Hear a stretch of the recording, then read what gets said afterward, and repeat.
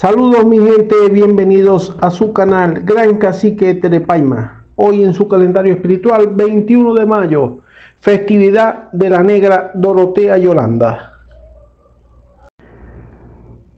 La negra Dorotea Yolanda es una hermana espiritual de muy alta luz, fuerte, recta, seria, correcta y delicada.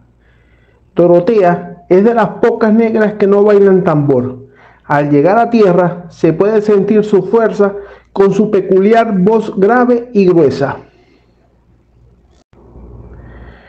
Dorotea es una espiritualidad muy sabia, llena de secretos y misterios, con un carácter recio y fuerte. Esta negra es excelente para trabajos de evolución, salud, amor y para descruzar.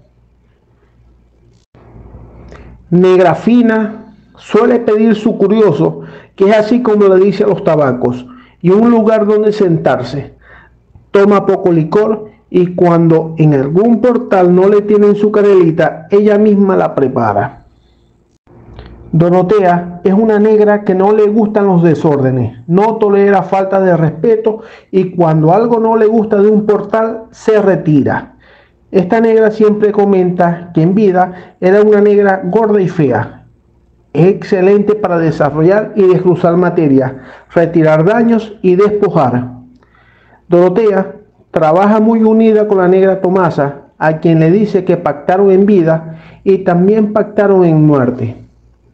Algunos aseguran que Dorotea era la madre de la negra Tomasa y de allí su cariño y complicidad.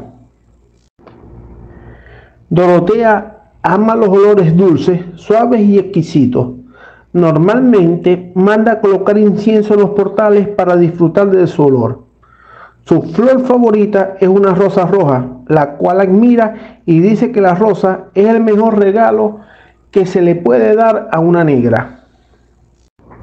Su festividad es el 21 de mayo, pertenece a la corte negra venezolana y se le ofrenda velas y velones color rojo, canelitas, flores, frutas, ron, café, tabacos, cigarrillos, perfumes, vestidos, pulseras, labiales rojos, entre otros. Desde su canal Gran Cacique Terepaima les damos las gracias por sus suscripciones, por activar las notificaciones y por sus me gusta a cada video, ya que todos nuestros contenidos son posibles gracias a tu apoyo, porque nos ayuda y nos motiva a seguir creando contenido para todos y cada uno de los hijos y creyentes de nuestra reina Madre María Alonso dentro y fuera de Venezuela. Nos despedimos hasta un próximo video.